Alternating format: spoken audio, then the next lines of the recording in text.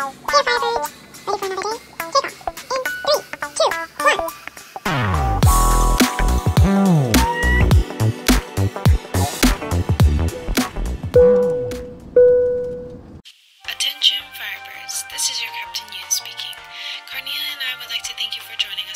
flight. The complimentary entertainment is the Pokeplant Project, which can be found on the screens in front of you. The Pokeplant Project is a weekly series here on this channel in which I draw one Pokemon and one plant. If you already have an idea of what this week's Pokeplant pair is, let me know in the comments down below. If not, no worries, keep on watching and happy guessing.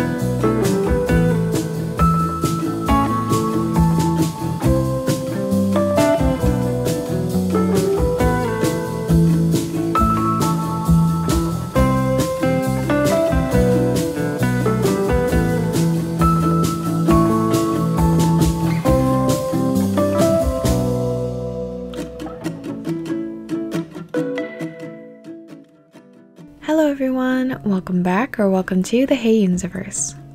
Today's Pokeplant pair is Quaxly and Philodendron Silver Sword. This will be the only time that the holidays line up, so happy early Easter.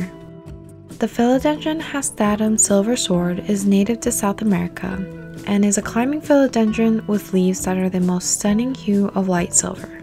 Most of the time, I see the silver sword sold in its juvenile form. But after seeing the one that Wildfern here on YouTube used to have, I fell in love with not just the color of the foliage, but also with the goofy shape and large size that the leaves can get. I currently have a juvenile silver sword that I was growing outside, but I've since brought it inside to see if it'll prefer the consistency of indoor conditions. It's a relatively slow grower for me, but it's definitely a trooper philodendron that can handle a wide range of care habits or even mistakes. Do you have the Philodendron Silver Sword? Let me know in the comments below, and congrats if you guessed this week's Pokemon.